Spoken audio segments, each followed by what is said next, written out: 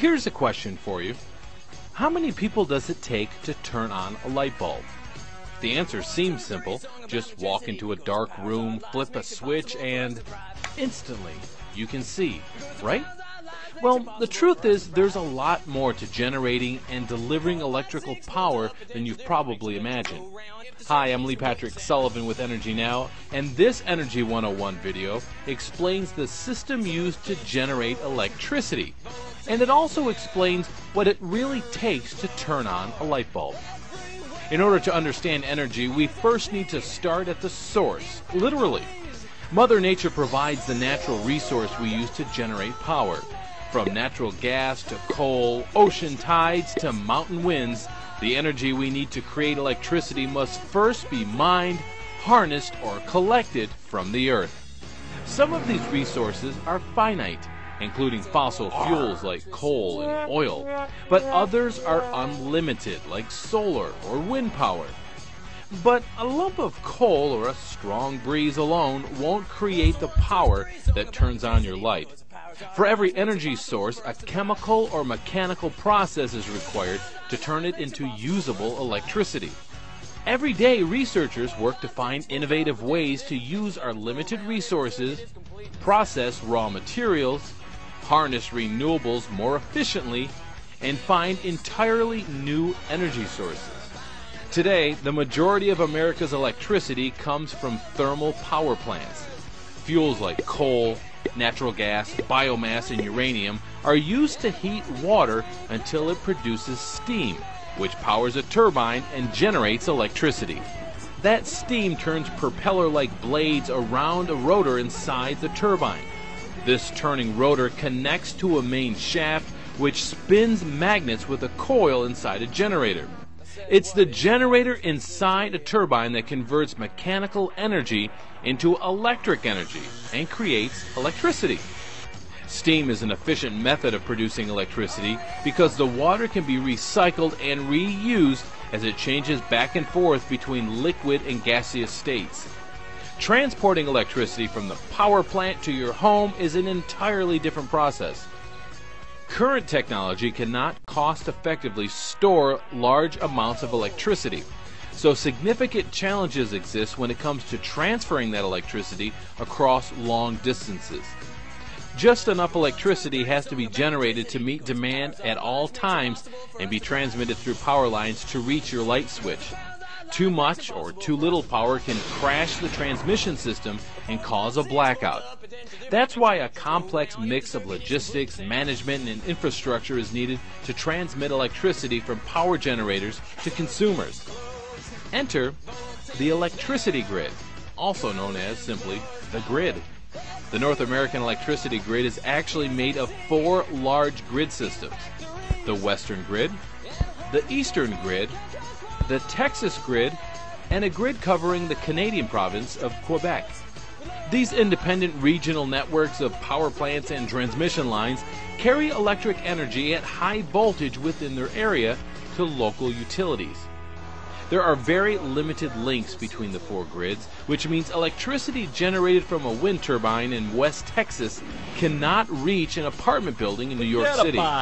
For electricity to move through one of the four grids, its voltage must first be increased by a device called a transformer. Then the electricity can travel long distances across high voltage transmission lines. These high voltage lines are generally strung between giant metal towers. They stretch for miles from power plants to local substations in each neighborhood. You've probably seen substations along the side of the road and wonder what they do. Well, their job is stepping down electric voltages from levels as high as 765,000 volts closer to the 110 volts you use in your home. The electricity from the power line on your street passes through another transformer, which steps down the voltage once more, and then it travels along the line into your house. From there, the electricity enters your breaker box, and it is then distributed to light sockets and outlets. All you have to do is flip a switch. So, as you can see, from the raw materials to the power lines on your street, there's so much more to the electricity ecosystem than meets the eye. One, two, three, song about electricity because it powers our lives, makes it possible for us to thrive. Because it powers our lives, makes it possible for us to thrive. Up potential difference makes electrons go if the circuit is completely sound. Circuits closed, voltage there, current flows, power everywhere. Use AC. Although power plants may appear complex, the basic processes used to create electricity are surprisingly simple. Let's take a look at how it works. Most power plants generate heat in order to produce steam, which drives turbines that generate electricity. Nuclear fission, natural gas, and coal are the main fuels used in the United States. At Fisk and Crawford, coal is the fuel burned to generate heat. Traditional coal-fired power plants like Fisk and Crawford have two basic components. The first is a furnace boiler designed to burn coal and capture the resulting heat energy using a system of circulating water and steam. The process starts with the boiler, which is a furnace where combustion takes place. Pulverized coal is injected with a stream of air into the furnace in a continuous process through a device known as a burner. Burners ignite the coal and air mixture, creating a maximum amount of heat possible, as much as 1500 degrees centigrade.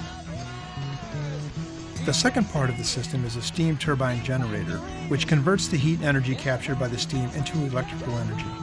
First, the intense boiler heat coming from the furnace turns water running through the pipes around the boiler into steam. The steam travels through more pipes to the turbine, causing it to spin and turn the shaft of the generator, which creates electricity. Another series of pipes allows the steam to cool, condensing back into water heading back to the boiler where the process begins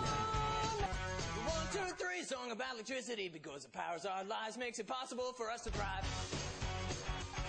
Because it powers our lives, makes it possible for us to thrive. Potential difference makes electrons go if the circuit is sound.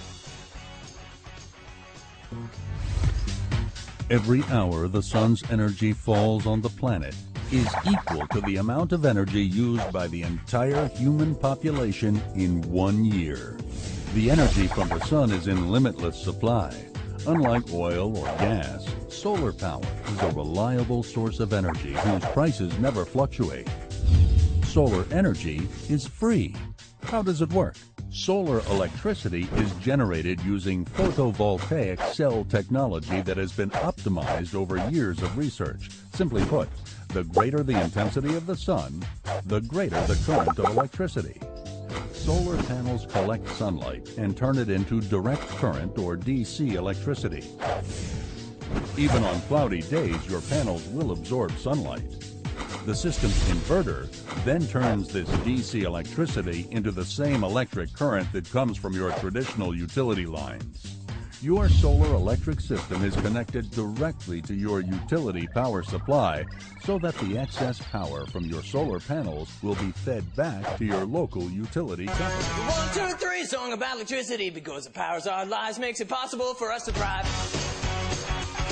Because it powers our lives, makes it possible for us to thrive. Four, five, six volt potential difference makes electrons go around if the circuit is completely sound.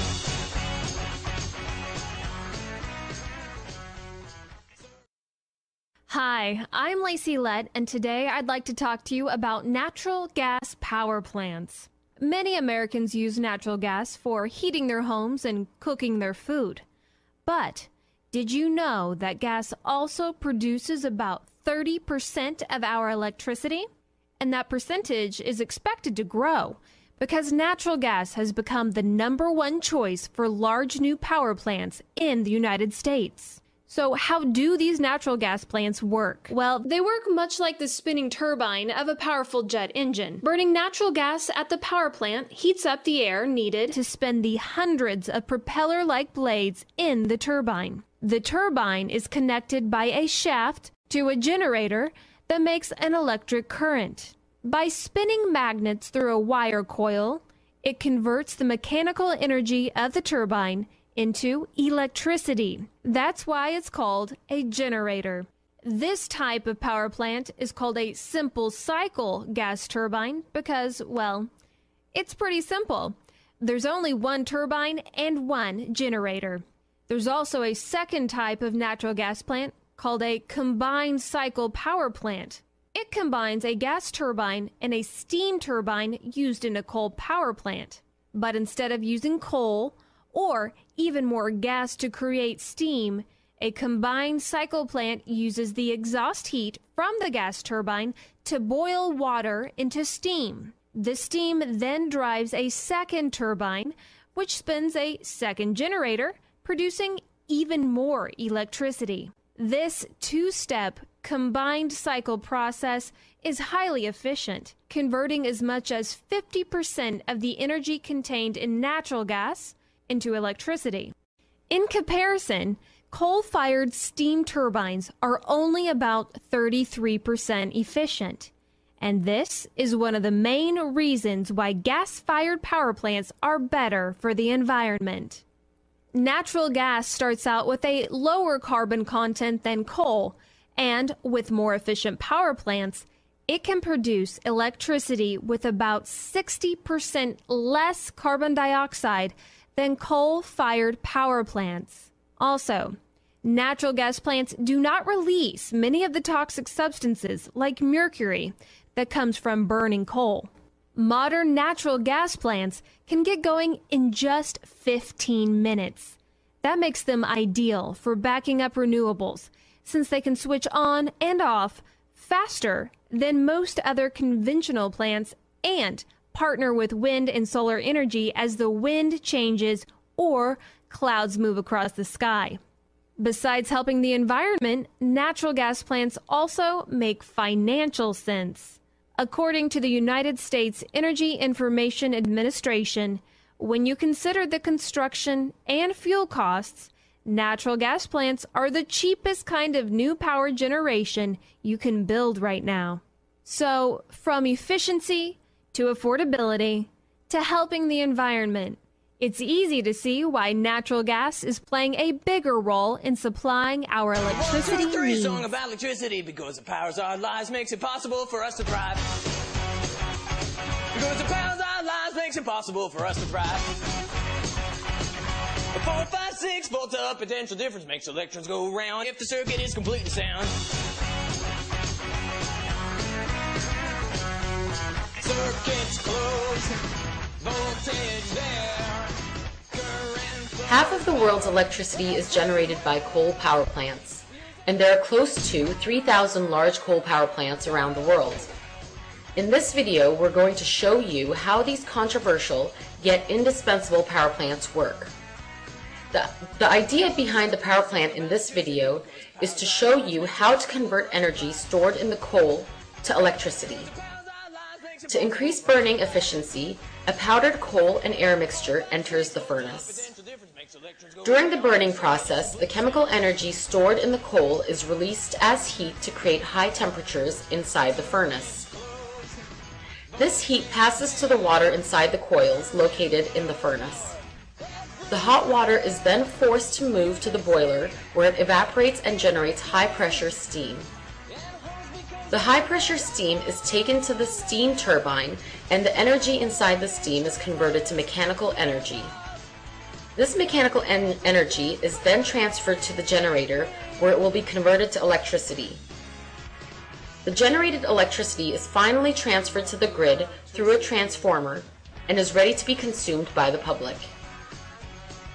There are two major water cycles in any power plant, whether it is a coal, nuclear, or a gas power plant. The first is the closed loop power producing water cycle, which we call the steam cycle. The second is the open loop cooling water cycle.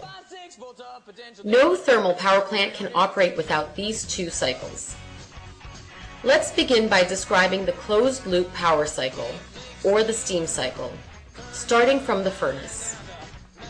First, intense heat inside the furnace heats the water within the coils, which is coming from the condenser.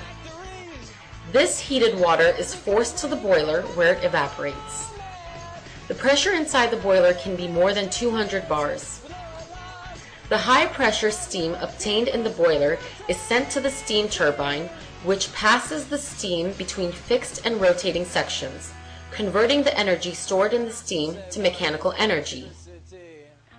The steam leaves the turbine at close to vacuum pressure, near condensation temperature. This saturated dry steam then enters the condenser where it is condensed to water by the cold water coming from the river.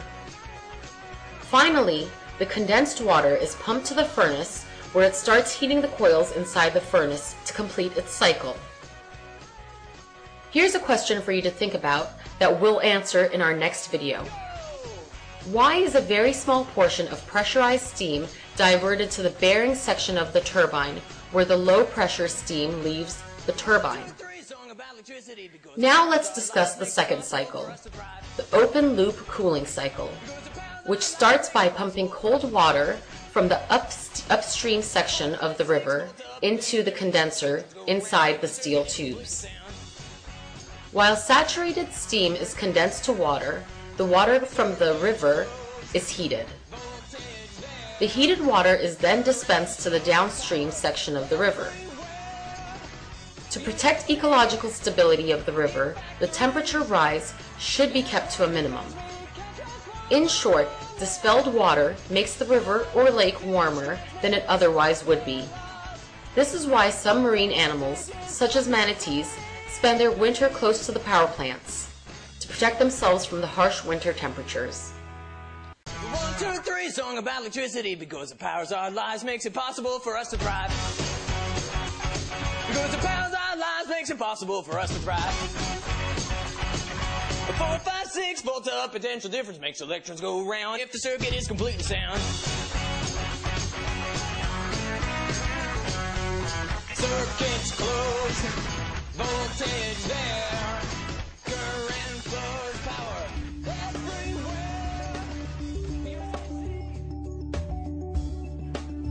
Nuclear energy facilities generate carbon-free electricity in 30 countries around the world. Nuclear energy production is similar to the ways fossil-fueled power plants generate electricity. A nuclear energy facility provides clean, safe electricity 24 hours a day. Let's go inside the plant to find out how. In most generating plants, whether coal, nuclear, or natural gas, some form of energy is used to heat water into steam. This steam turns a turbine that is coupled to an electromagnet called a generator. The generator produces electricity. While the model is the same, there is a key difference between nuclear energy facilities and other electricity generating plants. Power plants that run on fossil fuels burn coal, oil, or natural gas to generate the heat that creates steam. In a nuclear energy facility, a chain reaction of splitting atoms releases heat. This reaction takes place in the reactor. All reactors are designed, built, and operated with safety as a top priority. Nuclear energy facilities are among the safest facilities in the world because they feature multiple redundant layers of safety systems and procedures, beginning in the core of the reactor. In a nuclear reactor, metal rods with enriched uranium pellets inside are placed into bundles, creating a fuel assembly. The bundles are submerged in water inside a pressurized vessel.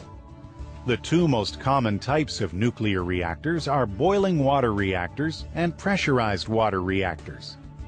In a boiling water reactor, the heat from split atoms causes the water to boil, producing steam that drives a turbine. Afterwards, the steam is converted back to liquid water and returned to the reactor core. Pressurized water reactors, or PWRs, were developed after boiling water reactors and work in a slightly different manner. In a PWR, the water in the reactor tank is under pressure to keep it from boiling, even though it reaches very high temperatures. In the steam generator of a PWR, water passes through thousands of small pipes. The heat in the pipes turns the water to steam which then drives the turbine. The turbine powers the generator, which in turn produces electricity. Here is where the process differs from a boiling water reactor. The reactor water is now pumped back into the reactor tank and heated again. The steam from the turbine is cooled in a condenser, and the resulting water is sent back into the steam generator and heated again. To prevent overheating, control rods made of a material that absorbs small atomic particles are inserted into the nuclear fuel bundle. When an operator wants to produce more heat, the control rods are raised out of the bundle. To create less heat, they are lowered into the bundle. The rods can also be lowered completely to shut the reactor down case of an accident or to refuel the facility.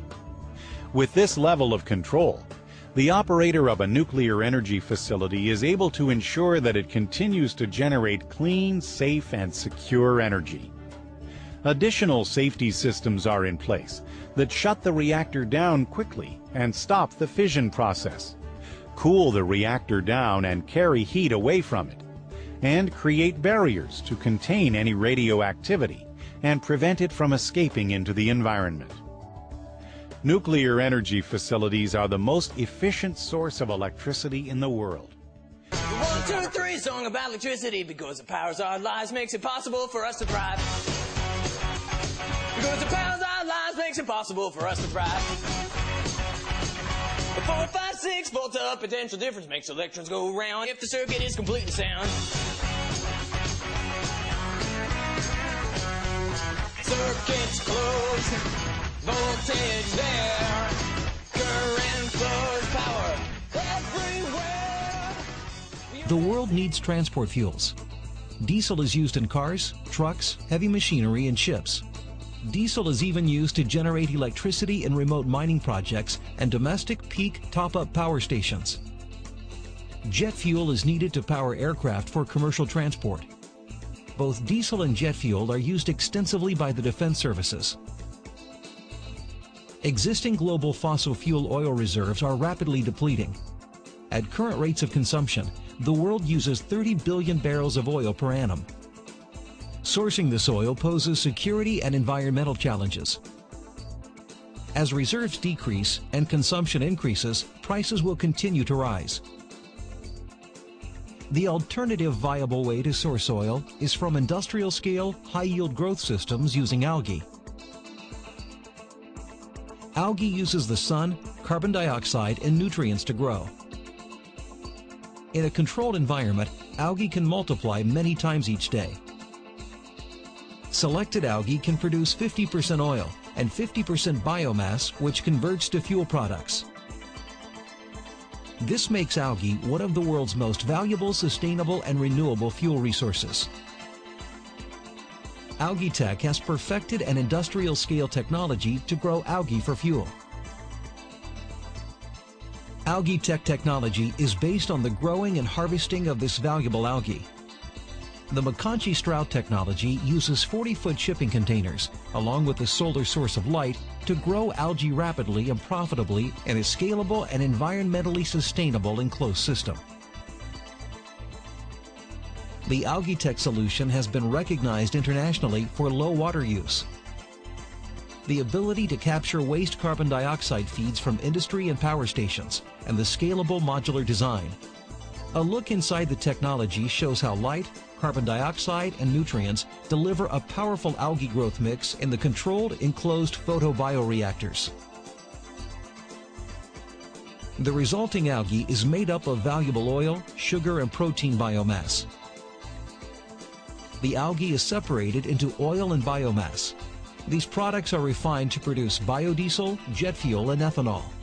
Importantly, Algae Tech fuel has major cost advantages. It can be produced at approximately half the price of the current crude oil price. Algae Tech is in the business of delivering algae growth systems that offer cost-competitive, secure, high-quality fuels for transport and power. Electricity because it powers our lives, makes it possible for us to thrive. Because it powers our lives, makes it possible for us to thrive. Four, five, six volt up potential difference makes electrons go round if the circuit is complete and sound.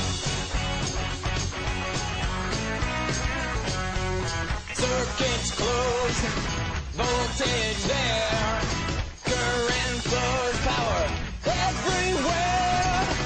Use AC in factories. Hot fractured rock, or HFR, geothermal energy, is a renewable form of energy harnessed from the Earth itself. Hot granites, buried deep below the Earth's surface, contain a huge amount of energy, and the Cooper Basin contains the hottest granites on Earth at reasonable drilling depth. This is a known resource with an energy potential comparable with Australia's coal reserves. The Cooper Basin hot rock resource is within reach of conventional oil drilling rigs and is known to cover 1,500 square kilometres at a depth of approximately 3.5 to 4 kilometres. Fractured granite found at this level is heated naturally by radiogenic decay from the elements within it. This heat is insulated by thousands of metres of sedimentary rocks and slowly builds up over millions of years. Injecting water under pressure into the granite, in the same way as the oil and gas industry, can widen the fractures. This hydraulic injection triggers tiny microseismic events that enhance the permeability of joints a significant distance away from the injection well, creating a geothermal reservoir. Low temperature water flows through the reservoir, increasing to approximately 280 degrees Celsius at 5,000 meters below the surface. Geodynamics uses a closed pipe circuit to bring the naturally hot pressurized fluid to the surface before running it through a heat exchanger that extracts the thermal energy. The cooled, pressurized fluid is injected back into the reservoir. The closed loop system means the pressurized fluid is never exposed to air or light and does not diminish at all during the process, meaning zero water loss from the system. The superheated steam from the heat exchanger is used to drive a binary steam turbine in an adjacent power plant, thereby producing emission-free baseload electricity for supply to the national grid. Because it powers our lives, makes it possible for us to thrive. Because it powers our lives, makes it possible for us to thrive. Potential difference makes electrons go round if the circuit is complete and sound. Circuits closed, voltage there, current flows power everywhere. Use AC in factories and homes because we can't. Hydroelectric power plant. In a hydroelectric power plant, electricity is produced from water.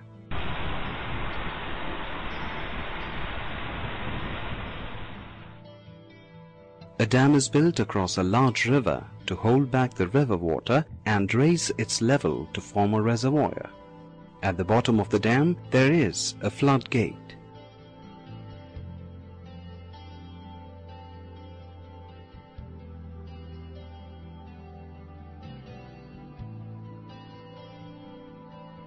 Water flows through the penstock and rotates the turbine. The flowing water rotates the turbine, which is placed at the end of the penstock. The turbine, in turn, rotates the shaft that is connected to the coils of a generator. These coils are placed in between strong magnetic poles. The rotating shaft turns the coils. The change in magnetic field due to the movement of the coils results in electric current. Electricity because it powers our lives, makes it possible for us to thrive. Because it powers our lives, makes it possible for us to thrive. Four, five, six volt up potential difference makes electrons go round if the circuit is complete and sound. Circuits closed, voltage there, current flows power everywhere. Use AC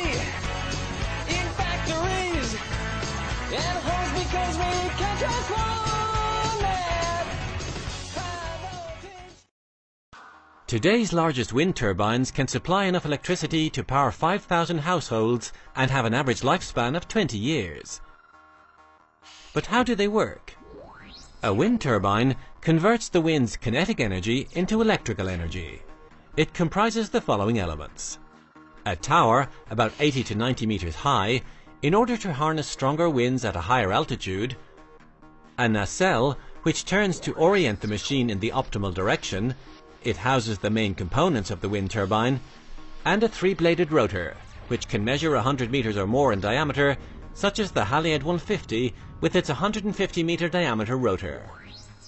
When the wind blows, the blades spin the rotor, which in turn rotates the shaft fitted to the nacelle. This drive shaft is connected to a generator.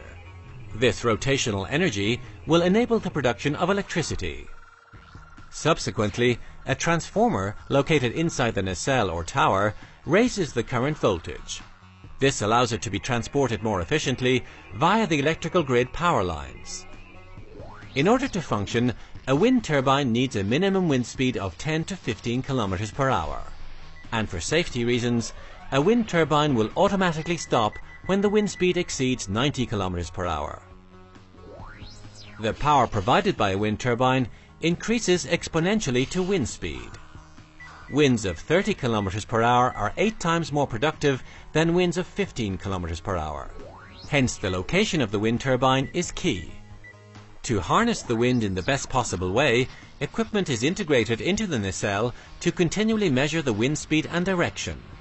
This enables the wind turbine to be optimally oriented into the wind and to modify the rotor blade angle. There are two main categories of wind turbines, onshore and offshore. The installation of offshore wind turbines, usually installed some 10 kilometers or more off the coast, at a seabed depth of 25 to 30 meters, is more costly.